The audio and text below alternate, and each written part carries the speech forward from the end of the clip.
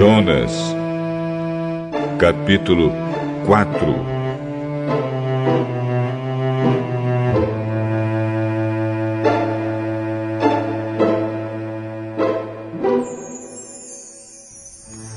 Por causa disso, Jonas ficou com raiva e muito aborrecido.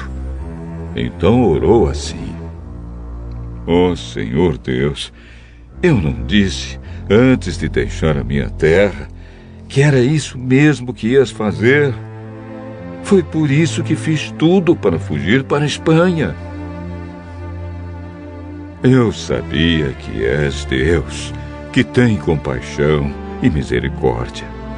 Sabia que és sempre paciente e bondoso e que estás sempre pronto a mudar de ideia e não castigar. Agora, ó Senhor, acaba com a minha vida, porque para mim é melhor morrer do que viver. O Senhor respondeu: Jonas, você acha que tem razão para ficar com tanta raiva assim?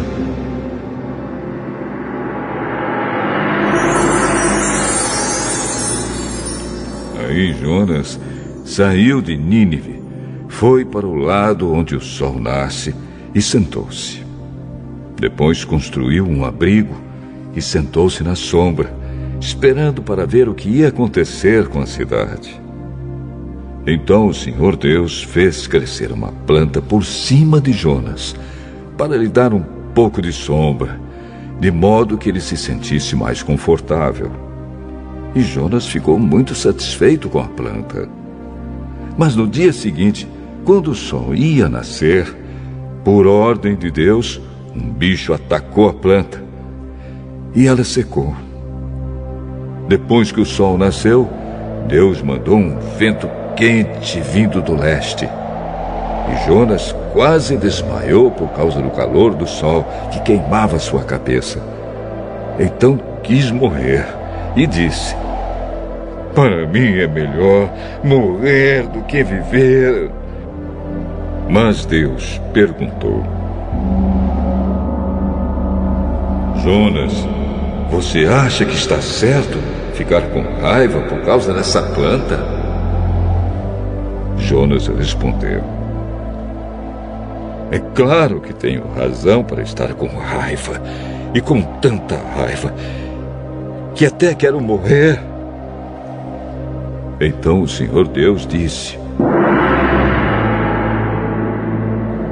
Essa planta cresceu numa noite e na noite seguinte desapareceu. Você nada fez por ela, nem a fez crescer. Mesmo assim, tem pena dela.